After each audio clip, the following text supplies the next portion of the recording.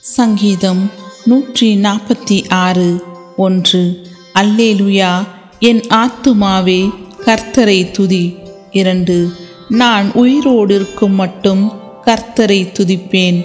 நான் உள்ளளவும் என் தேவனை கீர்த்தனம் பண்ணுவேன். மூன்று. பிரபுக்களையும் ரட்சிக்க திராணி இல்லாத மனுபுத்திரனையும் நம்பாதேயுங்கள் நான்கு. அவனுடைய ஆவி பிரியும். அவன் தன் மண்ணுக்கு திரும்புவான். அந்நாளிலே அவன் யோசனைகள் அழிந்து போம். ஐந்து. யாக்கோப்பின் தேவனை தன் துணையாக கொண்டிருந்து தன் தேவனாகிய கர்த்தர் மேல் நம்பிக்கையை வைக்கிறவன் பாக்கியவான். ஆறு.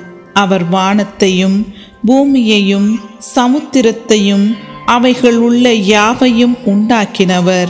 அவர் என்றென்றைக்கும் உண்மையை காக்கிறவர். ஏழு. அவர் ஒடுக்கப்பட்டவர்களுக்கு நியாயம் செய்கிறார். பசியாயிருக்கிறவர்களுக்கு ஆகாரம் கொடுக்கிறார். கட்டுண்டவர்களை கர்த்தர் விடுதலை ஆக்குகிறார். எட்டு. குருடரின் கண்களை கர்த்தர் திறக்கிறார்.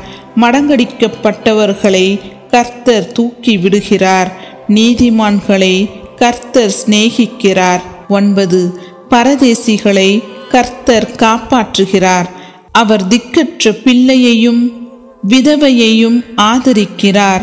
துன்மார்க்கரின் வழியையோ கவிழ்த்து போடுகிறார். பத்து. கர்த்தர் சதா காலங்களிலும் அரசாளுகிறார்.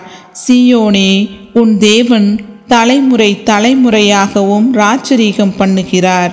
அல்லேலுயா.